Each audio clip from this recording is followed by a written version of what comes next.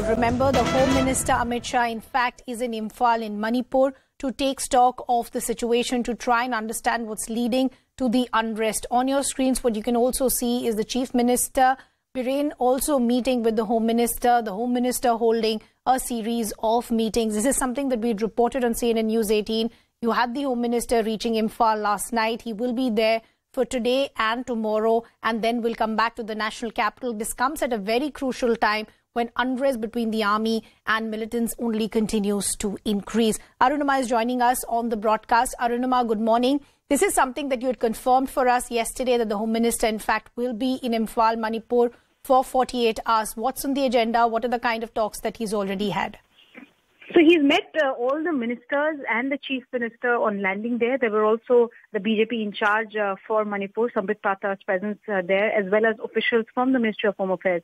Ajay Bhalla, Union Home Secretary, Tapan Deka, Intelligence Bureau Chief, other officials who are handling the Manipur issue, they were all part of this meeting. So what was the big takeaway? Uh, it was, uh, you know, discussing not just the security import of what is happening, but also the political side of it, since there is so much of uh, discord against the way the administration led by Chief Minister Biren Singh is functioning. It seems that the administration too has been polarized there between the Kukis and the Meiteis.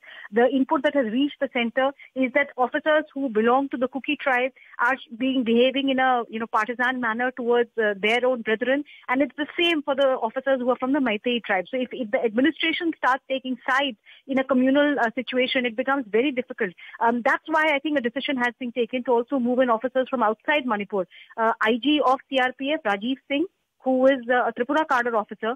The ACC has approved his, uh, uh, you know, cross deputation to Manipur, so he's being sent there. Uh, Kuldeep Singh, former Director General of CRPF, is already there in, in his role as an advisor. Vineet Joshi, the Chief Secretary who was in Delhi, has been rushed back a few days ago. Uh, so attempt is being made to bring in officers who can handle the situation, but who are not seen as officers taking sides. So that's the big thing that the center is moving to do right now. Home Minister is meeting women's group. He's met the governor there. He's also wanting to meet civil society groups there. Uh, one point agenda, try and get back Manipur to normalcy, ensure that peace is restored. Arunima, we'll just request you to stay on with us. We also have our colleague Kamalika Sen Gupta also now joining us on the broadcast. Kamalika, good morning. Politically, you know, Arunima has put the story in context for us. You help us understand with the ground situation, what does the ground situation look like today?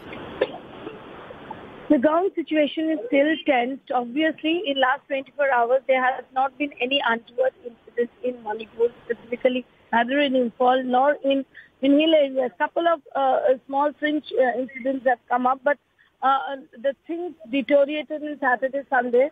But Monday and today in the morning, right now, till now, situation is uh, uh, is tense. But situation there is no fresh violence reports have not come in.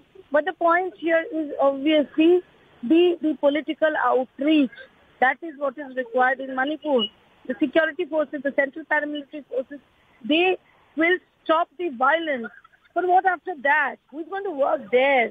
There is the question that, you know, the two communities, it's, it's, the division is very sharp. Mm. You know, the division is like that, that uh, uh, the one community uh, you know, where the dominance of one community is there, you cannot take other community people uh, there even as a driver.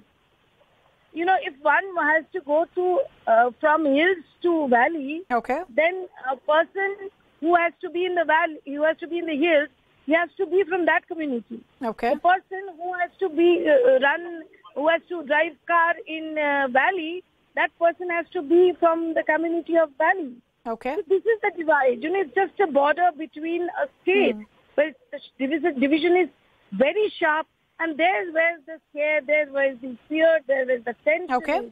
It's, it's, it's in our own country, uh, mm. in in a, in a one state, there is two sharp divi- uh, two sharp areas. Okay. One is dominated by one community, other mm. is dominated by other community. Sure. So yesterday, yeah. what we got from our mm. sources, that Shah has, I mean, the Home Minister cleared that come what may, there has to be peace and political outrage. And that's why he's totally meeting up the communities.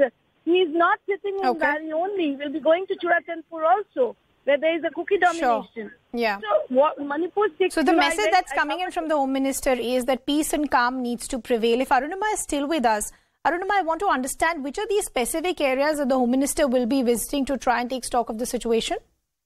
See, it's, it's, a fluid situation because security is a concern. Uh, so it is a decision being taken by the hour.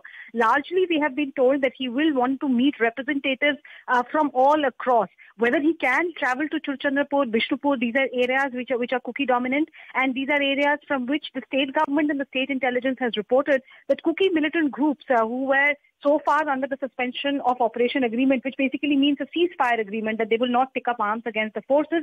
They have started violating that agreement uh, and uh, they, they're burning down uh, homes. Uh, there, there's a lot of firing that is happening and firing not with primitive weapons, weapons, firing with automatic weapons, including AK series rifles. Where are they getting these weapons from? The charge is uh, that, you know, th- there has been looting of armories. The charge is that, you know, at some places, uh, they have been just, the administration has just handed over, fearing for their lives or because they're supporting them. There are various allegations and counter allegations. But the point is that these Kuki militants have taken up uh, the, the areas, okay. Kuki dominated areas in their hands. So will the Home Minister's visit hmm. be advised is something we'll have to see. But he would definitely want to meet those representatives. Okay. Arunima and Kamalika, keep tracking all those developments for us. This is a story that we'll keep tracking very, very closely. For now, we're slipping into